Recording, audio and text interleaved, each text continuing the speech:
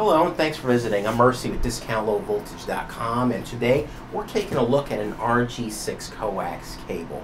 Now, we recently spent some time with a contractor and an engineer from DirecTV regarding their D2 Advantage technology and trying to figure out what coax will work with that technology. And we narrowed it down to this. So, if you're looking into that type of technology, the D2 Advantage, check out our blog for more information on it.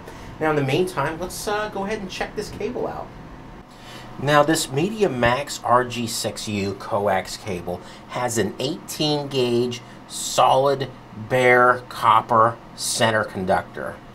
You also have an aluminum braid, and this cable is sweep tested to 3 gigahertz.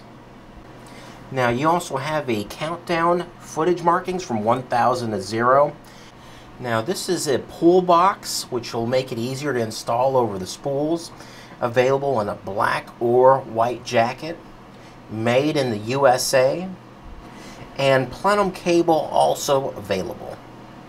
Now you can go ahead and order this online along with fiber cable, patch panels, pretty much anything networking.